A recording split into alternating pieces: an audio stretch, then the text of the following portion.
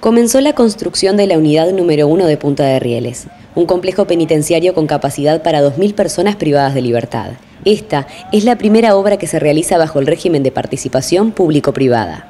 El marco regulatorio con una ley de PPP eh, establecida en el Uruguay eh, es un punto fuerte para que la empresa eh, aposte por, este proyecto y, bueno, las otras condiciones, una buena estabilidad, una presencia de, como ya decía, de más de 35 años de la empresa en, el país son, puntos a favor de esta inversión.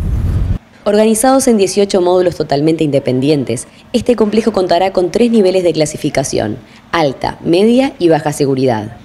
En una superficie de 55.000 metros cuadrados se construirán 25 edificios con singulares características en función del cometido que cumplirá cada uno.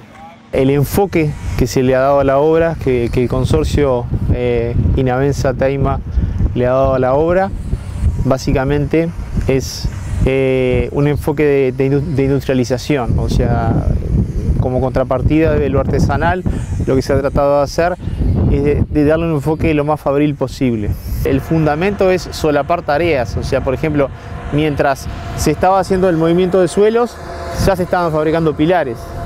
Eh, mientras se están montando pilares, ya se van a estar fabricando placas mientras se estén montando pilares se van a estar haciendo celdas. Entonces uno acorta los tiempos de obra comprimiendo, eh, a su vez mejora la seguridad, no es lo mismo trabajar aquí a nivel de piso que trabajar en, altura, o sea, la, seguridad para el personal operario mejora significativamente.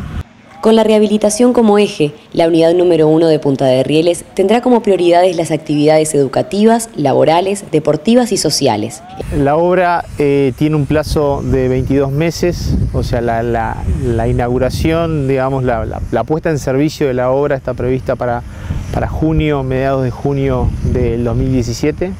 Tras la reunión mantenida entre el presidente Tabaré Vázquez y los principales directivos de Teima Uruguay, el Gobierno Nacional ratifica la plena y absoluta confianza en la solvencia de la empresa para seguir adelante con las obras y proyectos que tiene con el Estado uruguayo.